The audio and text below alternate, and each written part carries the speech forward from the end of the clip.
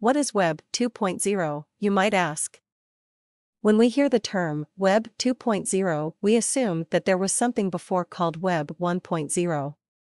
Actually, there wasn't anything as such. All there was is simply the internet. Going back in history, Web 2.0 is a name coined many years ago by Tim O'Reilly. He used it to label the raft of changes that were occurring in the design of websites, and the many new platforms, technologies, and social interactions that were springing up on the web in quick successions. Here are a few examples of today's internet. 1.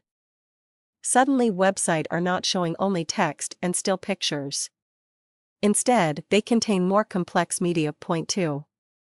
Web pages used to be packed with text, ads, etc., and were aligned to the left most of the time.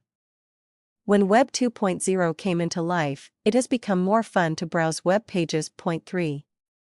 Visitors can now interact with web pages instead of just reading and looking. Point 4. There is a new trend of websites, called blogs, that started growing dramatically. Blogs attract more visitors these days than full websites. Point 5.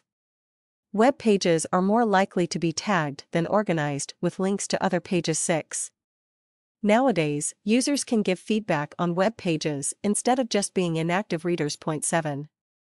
There is a new concept called Wiki that allows visitors to edit the information on the pages.so. Whether this means a second coming of the web or not is only a matter of opinion. But whatever you may think, Web 2.0 is the term used these days to describe all the radical changes that continue to happen to the internet, as well as the next generation of sites that will adopt them. I hope this short definition helped you figure what Web 2.0 is and how it has changed the concept of the internet nowadays.